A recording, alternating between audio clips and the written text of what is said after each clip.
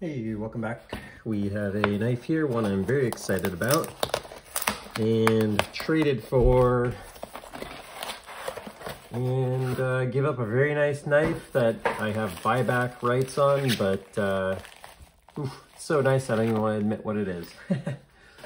All right, some good packaging from the seller here, always appreciated, and uh, let's get into it. Here we go. I've always wanted to try and get one of these at table, so I traded a very nice knife in order to get this knife in table value in my spreadsheet. Well packaged. One of those things about this thing is that it uh, will be a little loose in there if you don't wrap it up nicely. And oof, there it is. Sweet. So this is the uh, three inch Gareth Bull Knives Shamwari, but this is the newest version from the most recent drop and it has not a Spiro, but a Gambler pivot on it. And I gotta say, I really like the way that thing looks. Wow, that's freaking cool. The Spiro is great, but oh man, that thing has some serious detent on it. Holy shit. That was, that's crazy. I've had a lot of these three inch. I've never had one that was anything like that. Holy shit. That is spicy. God, these things are brilliant with their, uh, and I'm not even like putting my finger on the lock bar or anything, right? Okay, maybe, maybe even if I touch down here or something, it, God. Man, that is some serious detent. You can really feel that in here. Wow. Didn't, didn't expect that. Oh, man, yeah, that is no joke. Look at that. You can really put some pressure. I've never had a three inch with that kind of with that kind of uh, detent on it. Holy smokes. Gareth and Jason were not messing around on that thing. That's not my uh, favorite. If I'm going to get a lot of detent, I want that on like a thumb stud or a thumb hole or something. I, I can't say I'm a big fan of a uh, of a Shamwari with a really strong detent on a front flipper. I'm not sure if that could be adjusted with a little lock pressure or something along those lines, but wow, that is no joke. Now, they do some very nice things on their knives. Um, let me just see really quickly, because sometimes they have some issues with uh, sort of being able to fold back. This one's good. Uh, they do a really nice hand rub satin M390 blade where you get like a polished flat and then a hand rub satin. They have amazing phosphor bronze wa washers. God, is it me? What's, now it seems easier. What am I doing that's causing that to feel so strong when I do it? Am I putting my finger on the lock bar?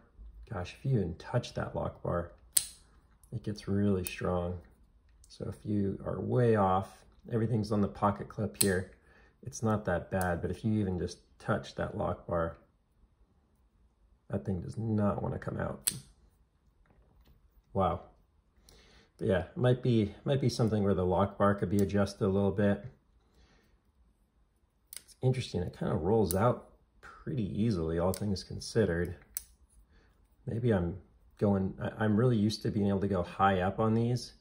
Maybe I need to go down a little bit. Okay.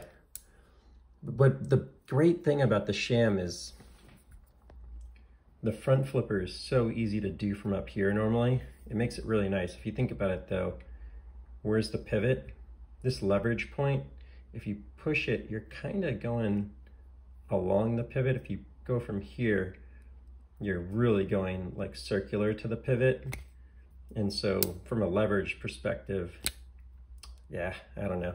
Maybe I'm overthinking it, but it feels a lot easier if I'm down here, which I've seen with a lot of front flippers, but normally not theirs. So that's the just kind of the weird part here is you can normally like very easily just grab the little tip of the front flipper here, this corner, and get it out. But this one just feels very strong when you're there. It's a little easier if I get myself to go down a little further. So, huh, Well, that is very interesting. Clearly strong detent. Um, beautiful, beautiful finish on these as always. Just a knife worthy of a zoom. This armor blasted finish they do is so nice. It's smooth, but not slick. Then you just have this awesome, and I've probably been mucking this up a little bit, so let me wipe it one more time here. Awesome satin finish. They always put a really nice edge on these. And this one is in their uh, Cheka blade shape. Kind of a spear point, but not quite. Gosh, that's a sweet size. Let's get a quick uh, weigh in here. Not sure if we'd expect anything different from the others. They're usually two and a half ounces on these three inch examples. Yep, 2.75, 2.575 rather. So no, no change in weight there as you'd expect. They've been making this for a while. Not a ton of innovation coming in here aside from the changing pivots over the years, the Bullseye, the Spiro, and now the, uh, the Gambler. That one, uh, that one's pretty sweet. I wasn't quite sure what to think based on the photos. Like if you really zoom in and you're not moving it around, it's a little weird looking.